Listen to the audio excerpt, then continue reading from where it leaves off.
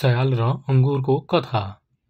एउटा स्याललाई एकदमै भोक लाग्यो। ऊ खानेकुरा खोज्न थाल्यो। उसले अङ्गुरको लहरा देख्यो।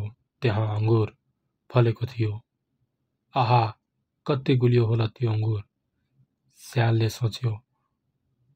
उसलाई त्यो अङ्गुर खान मन लाग्यो। उसैले अङ्गुर टिप्न खोज्यो। उसले अङ्गुर टिप्न सकेन। लहरा धेरै माथि थियो। स्यालले उफ्रेर अङ्गुर टिप्न खोज्यो। उसले अझै अङ्गुर टिप्न सकेन।